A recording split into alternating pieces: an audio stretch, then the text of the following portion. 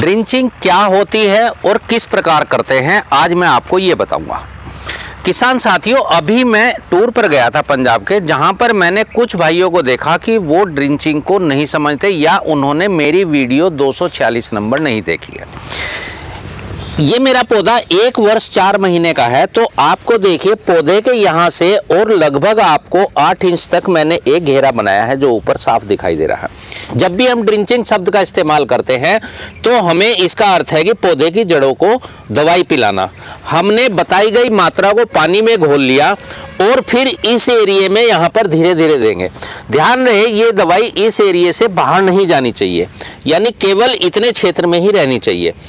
सबसे अच्छा तरीका मैंने बताया था कि आप टंकी में ले और उसका जो फुहारा होता है, उसकी नोजल निकाल लें और धीरे धीरे इस एरिया में दें। तात्पर्य यह है कि पौधों के नीचे तक दवाई पहुंचनी चाहिए। अगर आप बहुत बड़े किसान हैं, आप ड्रिप का इस्तेमाल कर रहे हैं तो ड्रिप को पौधों के पास लाइए, जिससे कि यहाँ पर जाए। और ये ध्यान रखें कि ड्रिप में दवाई उस समय छोड़ें जब पहले यहाँ पर थोड़ी सी नमी बन जाए या यहाँ पर पानी चलना शुरू हो जाए।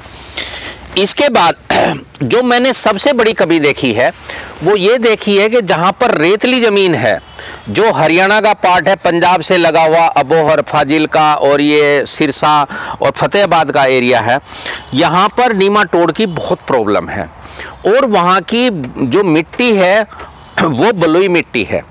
अगर आप वहाँ पर दवाई देंगे तो वो दवाई बहुत जल्दी नीचे चली जाती है क्योंकि पानी की होल्डिंग कैपेसिटी नहीं है, पानी की धारण क्षमता ज़मीन के अंदर नहीं है।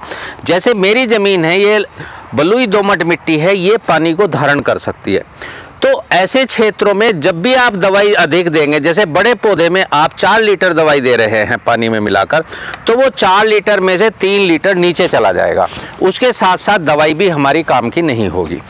तो इसके लिए ऐसे क्षेत्रों में ये ध्यान रखें कि जो दवाई की मात्रा बताई गई है, उस मात्रा को आधी आधी कर तीन दिन के अंतराल से दें। तो वहाँ पर अच्छी तरह बन जाएगी। दूसरा ये है कि दवाई देने से पहले वहाँ पर थोड़ी नमी बना लें। अगर आप इन चीज़ों का ध्यान रखोगे तो आपके पौधे स्वस्थ होंगे। इसका विचार मुझे वहाँ से आया जब मैं अभी दो किसानों के यहाँ गया तो वहाँ पर देखा कि उनको ड्रिंचिंग का मतलब नहीं पता था। एक मेरे किसान भाई ने तो अनजाने में उस पर दवाई स्प्रे कर दी थी। ड्रिंचिंग का मतलब ये समझा। इसलिए जब भी ड्रिंचिंग करें, इस वीडियो को अवश्य देख लें। इसी के साथ विदा लेता हूँ। धन्यवाद। नमस्कार। जय हिंद। जय भारत। वंदे मातरम।